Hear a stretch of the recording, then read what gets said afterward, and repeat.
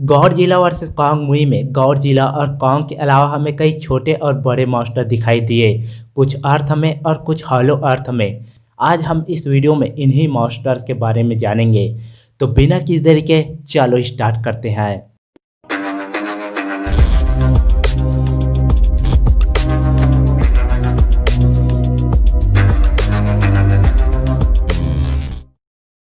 Number one Kong Kong जिसे हम school island movie में देख चुके हैं, तब कॉन्ग बच्चा था, जिसे 1973 के समय में दिखाया गया था।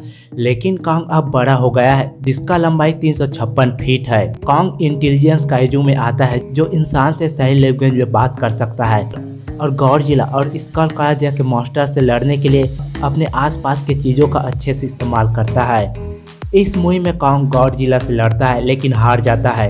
मूवी के लास्ट में कॉन्ग गौर जिला के साथ मिलकर मेका गौर जिला से लड़ता है, जिसमें कॉन्ग अपनी एक्स की मदद से मेका गौर जिला के पुर्जे पुर्जे अलग कर देता है। नंबर टू गौर जिला। गौर जिला जो इससे पहले 2014 की मूवी गौर जिला और 2019 की movie Godzilla king of the monsters movie में दिख चुका है, जिसकी लंबाई तीन सौ तिरानवे फीट है, जिसके पास कई पावर्स और एबिलिटीज़ है। जैसे एटॉमिक ब्रेथ, न्यूक्लियर एनर्जी को एब्जॉर्ब करना, किसी भी मॉन्स्टर को सेंस कर लेना, जिसके कारण गौर जिला, मेका गौर जिला को ढूंढ लेता है, जब मेका गौर जिला को किंग गुदरा के हेड की मदद से कंट्रोल किया जाता है। कॉन्ग तो इंटेलिजेंस काइजू तो है ही, साथ में गौर जिला भी इंटेलिजेंस काइजू में आता है। इस मूवी में गौर जिला एपेक्स इंडस्ट्री को तबाह करते दिखता है।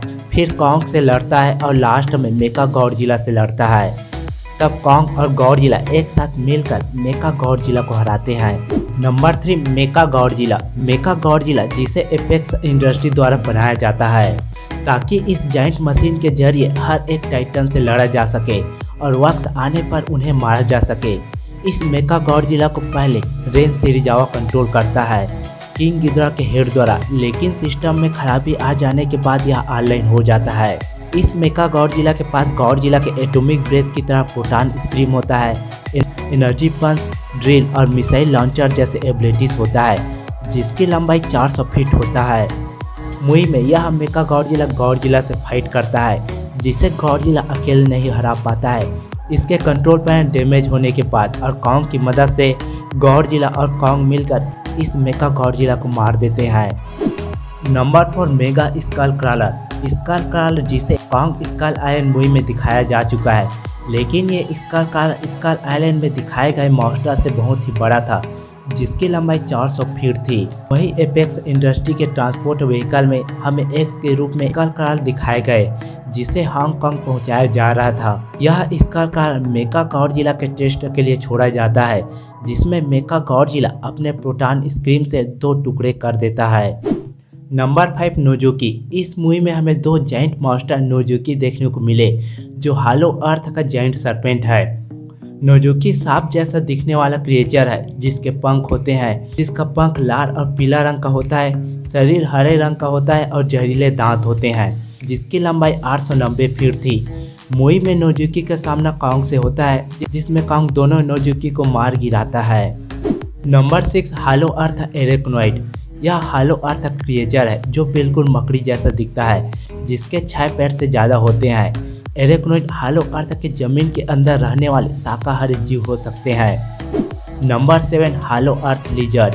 Hollow Earth में एरेक्नोइड को खाते हुए एक बड़ी छिपकली दिखता है, जिसके चार पैर होते हैं और जिसको बिल्कुल छिपकली की तरह डिज़ाइन किया गया है, जो हालो अर्थ में रहने वाले मांसाहारी जीव हो सकते हैं।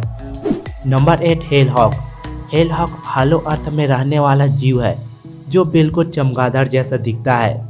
मुई में बहुत से हेल हॉक को दिखाया जाता है, जिसमें से बहुत से हेल हॉक कॉन्ग और इंसान पर हमला करता है। कुछ हेल हॉक इंसान को खा जाते हैं, जो इंसान से बहुत बड़े होते हैं। Number nine, lip wing lip wing जिसे मूवी के शुरुआत में दिखाया जाता है।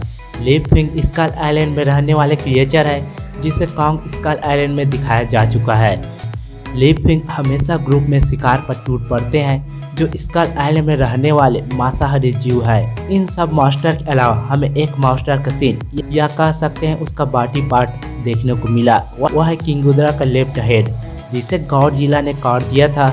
इस हेड की मदद से रेन सीरीज़ और मेका गौर जिला को कंट्रोल करने की कोशिश करता है।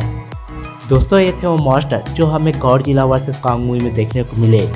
और अगर कोई मॉस्टर छूट गया हो तो कमेंट बॉक्स में ज़रूर बताएँ। और लास्ट में, अगर आपको यह वीडियो पसंद आए तो वीडियो को लाइक करें चैनल को सब्सक्राइब करें और ज़्यादा से ज़्यादा शेयर करें। तो मिलते हैं अगले वीडियो में, तब तक के लिए गुड बाय